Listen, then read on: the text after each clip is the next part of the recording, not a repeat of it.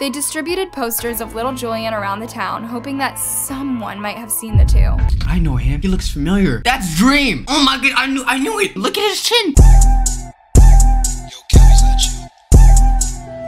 Yo. What's good, YouTube? Today we're gonna be looking at the missing boy who went missing for 13 years. I'm not gonna lie, if I was missing for 13 years, I'm gonna just come up with a new persona. I'm gonna tell everyone my dick grew like six inches bigger. We're gonna see what this video is about. If you're watching this from YouTube, make sure you guys join us on Twitch. Links in the description. We're live every day. Without further ado, let's get started. What would you do if you found out that your life was a lie? My life is already a lie. I thought I had an eight inch penis. I woke up from my dream. Life is tough. When this teen went to apply to college, he never imagined that he would discover a horrible secret about his life. So let's dive into the story of the teen who solved his own missing person case when he had no idea he was missing. Nigga, how you don't know you're missing, nigga? Imagine his ass got abducted when he's a child. Imagine he realized the people that were taking care of him weren't even his real parents. Bro, I'd be scared. I'm not gonna lie, I'd actually cry. It all started when JJ, a senior at Cleveland High School, began applying for college in 2015. Okay. He noticed that his applications kept being sent back and Okay. decided to go to his guidance counselor for help. The two soon realized what the problem was. JJ's name did not match his social security number. This was really weird, but it did not prepare them for what they were about to discover. What During their search for the issue, they came across a missing persons poster from 2002, which Okay. showed a five year old boy that looked a lot like JJ. The boy had been missing for 13 years, and his name was Julian Hernandez. But the strangest thing was the details matched those of JJ, and the man who was said to have taken him was none other than his dad. Why though? Like, I know they're gonna explain it later, but why would you need to do that? I hope they explain like the mother was either an asshole or like whatever. So, how was that even possible? Okay.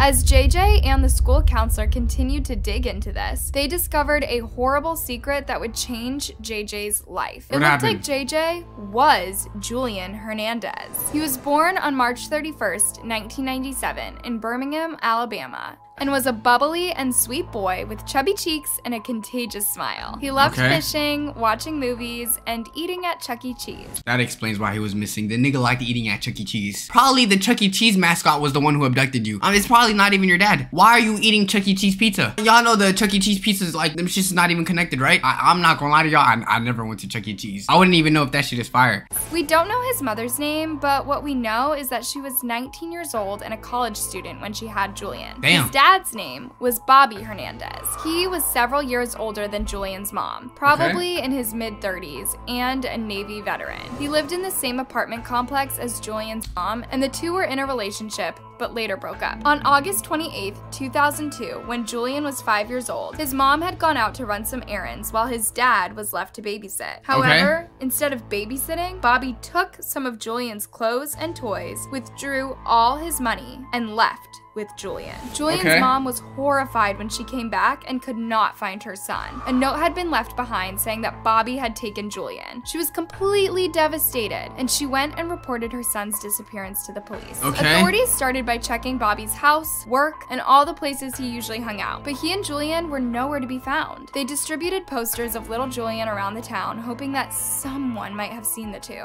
I know him. He looks familiar. That's Dream. Oh my god, I knew I knew it. Look at his chin. I'm not gonna lie to y'all though. If I did have a girl at this age and she decided to take the child, by all means, please go ahead. I'm not gonna be searching for him. I need to do a lot of things with my life. I cannot take care of a child. This is weird. I would expect the dad to just leave. The fact that he wanted to take his son, I don't know. I hope he has an amazing reason for this because he's doing a reverse black dads would do. Took the son. I don't know why I said that. but nothing came up. Rumors started spreading that Bobby might be hiding out in Florida, but when authorities went there to check, they could not find him. Tips came in from different corners of the country, and the police followed each one of them, but none panned out.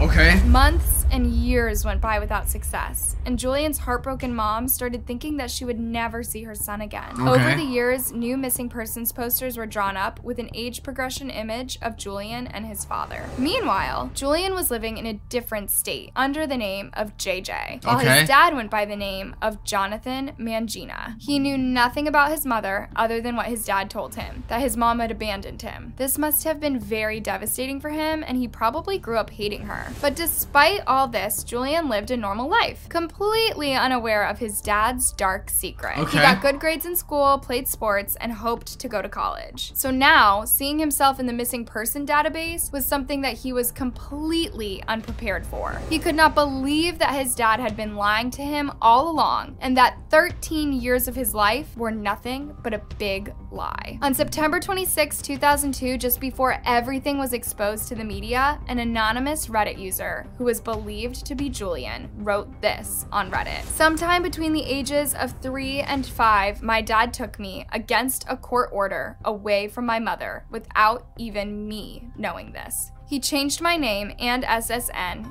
and did something similar for himself. I have lived my entire life up until a few days ago, oblivious to this fact. The first place you decided to go to is on Reddit. I mean, yes, uh, Reddit will give you answers, but not the police. Maybe not ask your dad, yo dad, why'd you take me from my mom? Yeah, I'm gonna go to a subreddit and ask him what, what the hell should I do if this hypothetically happened. I'm not gonna lie, it's no wonder you got abducted. My bad, Julian. He then went on to say that he was not angry with his dad and that he still loved him, even after learning everything. His main concern was how he could correct his school records with his real name and social security number and still have time to apply for scholarships for college. He also wanted to keep his dad out of trouble. My father has done his best to deal with the mistakes he has made, and he clearly regrets them. He had raised me well. I wouldn't have done so well in school without Okay, okay, When Doey someone Dad. asked him if he remembered anything about his mother, he said the only thing he remembered was that she was young. I remember that she was still young at the time, probably early 20s. See, my mom and dad had a deal that if they broke up, my dad would take me, but my dad got a call from a judge ordering him to return me to my mother, and that's when he decided to run. The post has since been deleted, and there's no way of verifying if it was really Julian who wrote it. Though everything about it just points to the fact that it could have been him. It probably now, was. It Julian's probably was. dad was later arrested and charged with several counts of kidnapping, tampering with records, and forgery. All because he loved his son? No, I'm just playing. You shouldn't have done that. The fact that he got arrested because he wanted his son. Free bro, keep bro. I, I don't know. Dad gave him a good life. He's like, I feel like he should get pardoned a bit, especially if the son rocked with him. When his mom learned that her son had been found, she couldn't believe it. She had gotten her hopes up so many times and had been disappointed over the years that she now wondered whether this time would be different, and it was. She later released a statement saying, Our family was overjoyed this week to locate Julian and learn that he is safe. We want to thank everyone for their prayer and support during Julian's disappearance. Okay. During this sentencing hearing, the prosecutor described Bobby as a con man who led his son to believe that his mother abandoned him, which was not true. He said Bobby threatened to take the boy away from his mom if she ever broke up with him, asking the judge to give him a heavy sentence for depriving his son of a relationship with his Let's be honest, the mom has, she has the right to be mad. I'm sorry, if I have a child and I did not see my child for 13 years, presumably thinking he's missing, I'm gonna be heated. I'm gonna be like, yo, what the hell? Like, so much years that I could have built a bond with my child and, and you go, you take him away f- like that? We'll see how much the dad gets, but as far as the mom, I, I can see why she's mad. mother. While Julian's mother was in court, though, she asked the media not to take her picture. Her lawyer read an emotional statement on her behalf, describing the moment she realized that her little boy was gone. I didn't know if he was gone forever. As the sun went down that night and it started to get dark, I wondered about him. Where was he? As the days turned into weeks, she got into a deep depression and could no longer eat or sleep. All she could do was think about finding her son. I stopped sleeping and eating. For months I stayed on a friend's couch because I couldn't bear to be in the apartment that we had shared. At that moment, she just wanted to die. And Damn. even considered taking her own life. I wanted to Damn. die. I understand now that only God got me through. That's just so heartbreaking, guys. It's something that no parent should ever have That's to go true, through. that's true, The that's lawyer true. also read a statement by Julian's maternal grandmother. She called Bobby an angry, controlling, and vengeful person. Bobby Hernandez kidnapped him because he wanted to get even with Julian's mother for leaving him. This is not a sign of a good father. She asked That's the true. court to give Bobby a sentence that was as long as their pain and suffering had been. Even so, when Julian stood up to speak, he begged the judge not to send his father to jail, saying that he was a good father and that If the son co-signs it and says the dad was a good dad, I'm kind of conflicted because yes, it's kind of weird kidnapping your son, especially making the mom, the mother feel like her son is presumably dead. I don't know. I'm actually interested into how long they're gonna give him, but I don't know, man. Like he ain't really. he- I'm, I'm conflicted. He had forgiven him for what he did. Even though everyone wants to talk about all the bad things he's done and doesn't think it's possible to forgive somebody for something like this, I think that he's done a lot of good. He said that sending his dad to prison would just add to the pain he felt when he was away from his mother. And yes, growing up without my mother was painful at times, but taking my father away from me now is just increases the pain from that. And then the judge asked him if his dad ever told him about his mother, and his answer was just heartbreaking. What do you say? I didn't really care. My father was there and he was all they ever needed. Now, Damn, nigga, I ain't gonna lie. As a mother, I'd be like, all right, f- that nigga. Nah, nah, nah. Arrest his ass. He was probably content with the fact that he had no mother. He was probably like, oh, well, I don't really need her anyway. Who cares? I'm sure that Julian was confused and just wanted to get his dad out of trouble, but I know that that statement really broke his mom's heart. When it was time for him to speak, Bobby broke down in tears and apologized to Julian and his mom for everything he put them through. Yeah. I offer my apologies to my son and to his mother and her family. Normally, such charges would fetch a minimum sentence of 54 years. Damn! prison, But the judge decided to give Bobby four years in prison, followed by five years of supervised release. That But ain't before that bad. handing her sentence, the judge described the crime as a mother's nightmare. Facts. case is a, um, a mother's nightmare.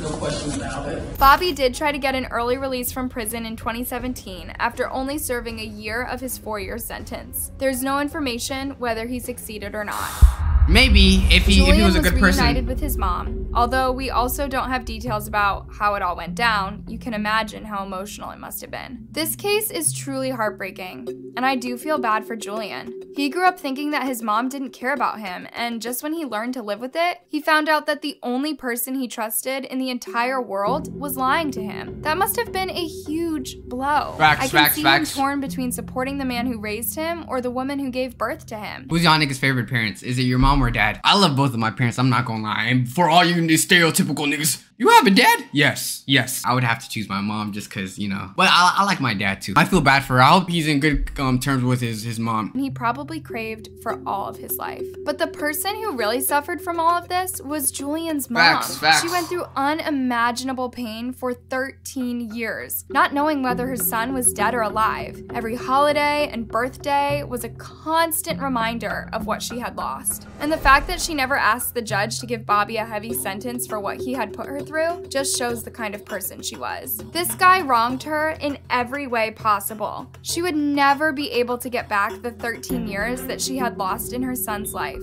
Yet, when she had a chance to condemn him, she didn't. She knew that despite her pain, her son still loved his dad and needed him in his life. So she Go, took the high road and decided to leave everything to the judge. Go, That's mom. admirable. Now, I won't deny that Bobby loved Julian and was a good father to him, but his actions were just selfish and malicious. He knew that taking Julian away from his mom would devastate a lot of people, including his own son. Yet he went ahead. He said that he was afraid of losing his son, yet he put Julian's mom through the same kind of pain that he was afraid of. I don't know about you guys, but I think he deserved the sentence he got, or maybe more. I, I think he got the right amount. But anyways, YouTube, that does conclude the video about the missing boy who was found three years later. In conclusion, don't steal your kid. I don't know. Is that regular advice? I hope it's not. But if you did watch the video and you got to the end, make sure you guys subscribe. Join us on Discord and catch us on Twitch 5:30 p.m. Pacific Standard Time. Links in the description. Like us for life. Love y'all and peace.